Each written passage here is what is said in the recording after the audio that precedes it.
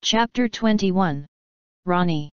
Okay, she admitted that she could get used to living like this, lounging on the diving board in the backyard pool, an ice-cold glass of sweet tea by her side, a fruit tray in the cabana, which had been served by the chef, along with real silverware and a fancy mint garnish.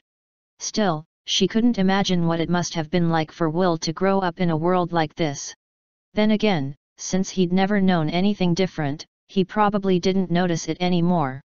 As she sunned herself on the diving board, she took in the sight of him standing on the roof of the cabana, getting ready to jump. He'd climbed it like a gymnast, and even from a distance, she could see the muscles flexing in his arms and stomach. Hey, he shouted. Watch me do a flip. A flip? That's it? You climb all the way up there and you're only going to do one flip. What's wrong with doing a flip, he demanded. I'm just saying that anyone can do one flip, she taunted. Even I could do one flip. I'd like to see that. He sounded skeptical. I don't want to get wet. But I invited you over here to swim. This is how girls like me swim. It's also known as tanning. He laughed. Actually, it's probably a good idea you're getting some sun. I guess the sun doesn't shine in New York, huh? Are you saying I'm pale? She frowned. No, he said, shaking his head. That's not the word I'd use. I think pasty is a bit more accurate. Wow, what a charmer. It makes me wonder what I used to see in you. Used to? Yes, and I must say that if you keep using words like pasty when it comes to describing me, I'm not seeing much of a future for us, either. He seemed to evaluate her. How about if I do two flips? Will you forgive me? Only if you end the flips with a perfect dive. But if two flips and a big clumsy entry is all you can do, I'll pretend to be amazed, as long as you don't get me wet. He raised an eyebrow before retreating a few steps and then taking one big step to launch himself in the air. He pulled himself into a tight tuck, spun twice, and went into the water arms first and body straight, almost without a ripple. Now that, she thought, was impressive, if not completely surprising, given the graceful way he moved on the volleyball court. When he surfaced at the edge of the diving board, treading water, she knew he was pleased with himself. That was okay, she said. Just okay. I'd give it a 4.6. Out of 5. Out of 10, she said. That was at least an 8. Of course you think that. That's why I'm the judge. How do I appeal, he said, reaching up to latch on to the edge of the board. You can't. It's official. What if I'm not happy? Then maybe you'll think twice about using the word pasty. He laughed and began to pull himself up. Ronnie gripped the diving board. Hey, stop, don't do that, she warned. You mean, this, he said, pulling down even harder. I told you I don't want to get wet, she shrieked. And I want you to come swimming with me. Without warning, he seized her arm and gave a tug. Squealing, she plunged into the water. As soon as she came up for air, he tried to kiss her, but she backed away. No, she cried out, laughing, relishing the briskness of the water and the silky sensation of his skin against hers. I don't forgive you. As she struggled playfully with him, she noticed Susan watching from the veranda. From the expression on her face, she was definitely not happy. Later that afternoon, as they were heading back to the beach to check on the turtle nest, they stopped for ice cream. Ronnie walked beside Will, licking her fast-melting ice cream cone, thinking how amazing it was that they'd kissed for the first time only yesterday.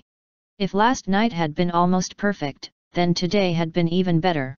She loved how easily they shifted from serious to light-hearted and that he was as good at teasing her as he was at being teased. Of course, he had pulled her into the pool, which was why she needed to time her reaction perfectly. It wasn't that hard since he didn't know it was coming, but as soon as he raised his own ice cream cone to his lips, she gave the cone a sharp nudge, smearing ice cream on his face. Giggling, she skipped off around the corner, directly into the arms of Marcus. Blaze was with him, as were Teddy and Lance. Well, isn't this a nice surprise, Marcus drawled, tightening his grip. Let me go, she cried, hating the sudden panic in her voice. Let her go, Will added from behind her. His voice was unwavering. Serious. Now. Marcus seemed almost amused. You should watch where you're going, Ronnie. Now. Will demanded, sounding angry, moving into view. Take it easy, Richie Rich. She slammed into me I was just keeping her from falling. And by the way, how's Scott doing? Has he been playing with any bottle rockets lately? To Ronnie's surprise, Will froze. Smirking, Marcus turned his gaze back to her. He squeezed her arms harder before finally releasing her. As Ronnie took a quick step back, Blaze lit a fireball, her expression nonchalant. I'm glad I was able to keep you from stumbling, Marcus said. It wouldn't look good to be all bruised when you go to court on Tuesday, would it? You don't want the judge to think you're violent, in addition to being a thief.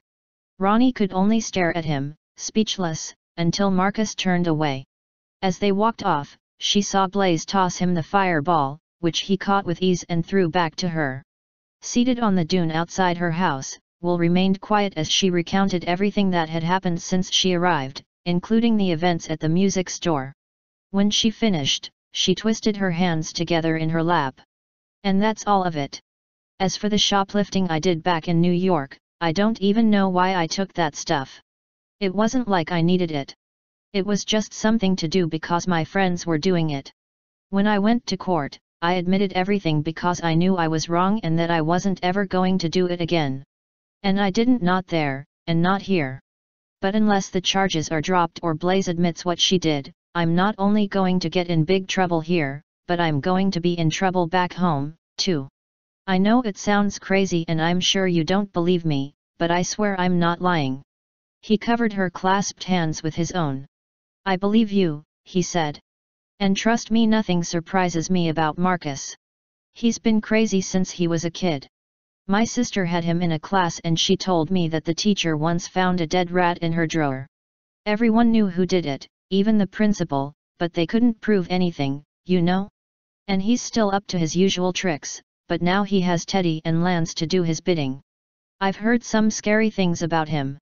But Galadriel, she used to be the nicest girl. I've known her since I was a little kid, and I don't know what's been going on with her lately. I know her mom and dad got divorced, and I heard she took it really hard.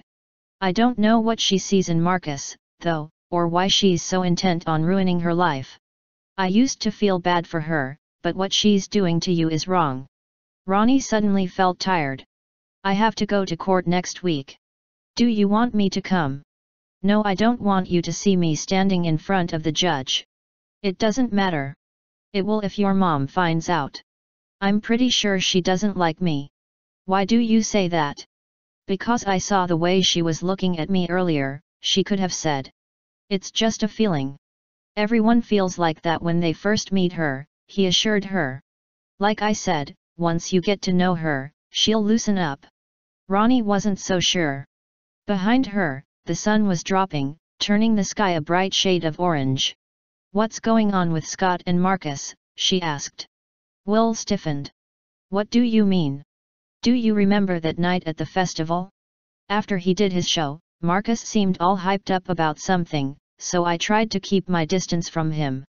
It was like he was scanning the crowd, and when he spotted Scott, he got this weird look on his face, like he found what he needed.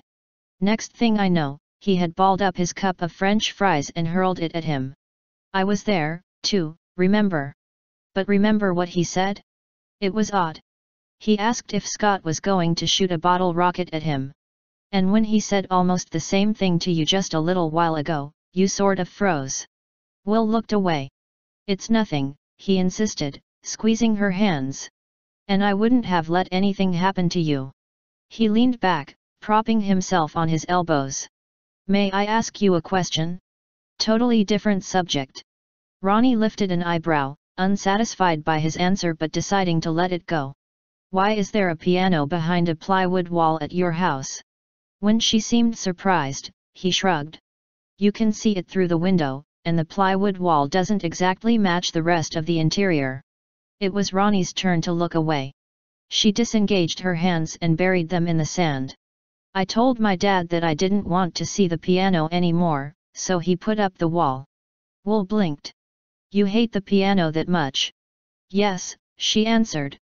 Because your dad was your teacher. She looked up in surprise as Will went on. He used to teach at Juilliard, right? It only makes sense that he'd teach you to play. And I'd be willing to bet that you were great at it, if only because you have to love something before you can hate it. For a grease monkey slash volleyball player, he was pretty perceptive. Ronnie dug her fingers deeper into the sand, where the layers felt cool and heavy. He taught me to play from the time I was able to walk. I played for hours, seven days a week, for years. We even did some composing together. It's what we shared, you know?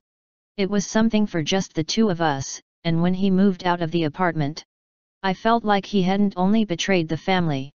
I felt like he'd betrayed me personally, and I was just so angry about all of it that I swore I'd never play or write another song again. So when I first got down here and saw the piano and heard him playing it every time I was around, I couldn't help feeling that he was trying to pretend that what he'd done didn't matter. Like he thought we could just start over. But we couldn't. You can't undo the past. You seemed friendly with him the other night, Will observed. Ronnie slowly pulled her hands from the sand. Yeah, we've been getting along better in the last few days.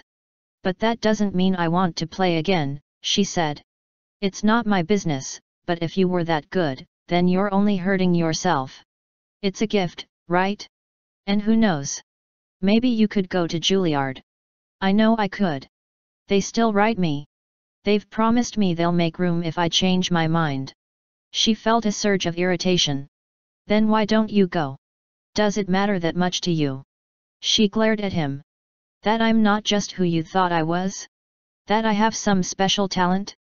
Does that make me good enough for you? Not at all, he said. You're still the person I thought you were. From the first moment we met. And there's no way you could ever be a better fit for me. As soon as he'd said it, she felt ashamed of her outburst. She heard the sincerity in his tone and knew he meant what he'd said. She reminded herself that they'd known each other for only a few days, and yet, he was kind and smart and she already knew he loved her. As if sensing her thoughts, he sat up and scooted closer. Leaning in, he kissed her softly on lips, and she was suddenly certain that she wanted nothing more than to spend hours and hours wrapped in his arms, just like this.